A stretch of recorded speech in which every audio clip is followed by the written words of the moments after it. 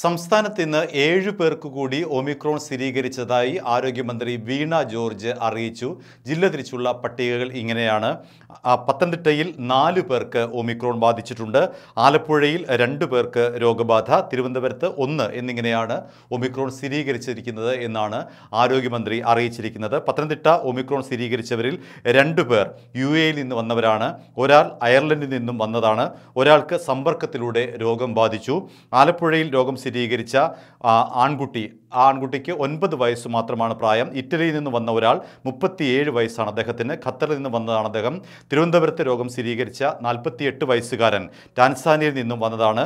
Rajiv Gandhi centre for biotechnology നടത്തിയ പരിശോധനയിലാണ് ഇവർക്ക് ഓമിക്രോൺ സ്ഥിരീകരിച്ചത്. ഇതോടെ സംസ്ഥാനത്തെ ആകെ ഒമിക്രോൺ രോഗികളുടെ എണ്ണം അറുപത്തി നാലായി ഉയർന്നിരിക്കുകയാണ്.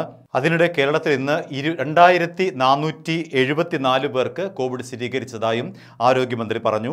എറണാകുളത്ത് നാനൂറ്റി പത്തൊൻപത് തിരുവനന്തപുരത്ത് നാനൂറ്റി അഞ്ച് കോഴിക്കോട് ഇരുന്നൂറ്റി എഴുപത്തി മൂന്ന് തൃശ്ശൂർ ഇരുന്നൂറ്റി മുപ്പത്തിയേഴ് കോട്ടയം ഇരുന്നൂറ്റി മൂന്ന് കണ്ണൂർ നൂറ്റി എഴുപത്തിയെട്ട് കൊല്ലം നൂറ്റി അറുപത്തിയേഴ് പത്തനംതിട്ട നൂറ്റി അൻപത്തിയെട്ട് മലപ്പുറം നൂറ്റി രണ്ട് വയനാട് തൊണ്ണൂറ് ആലപ്പുഴ എൺപത്തിയേഴ് ഇടുക്കി അറുപത് പാലക്കാട് അറുപത് കാസർഗോഡ് മുപ്പത്തി അഞ്ച് എന്നിങ്ങനെയാണ് ജില്ല തിരിച്ചുള്ള രോഗബാധിതരുടെ എണ്ണം.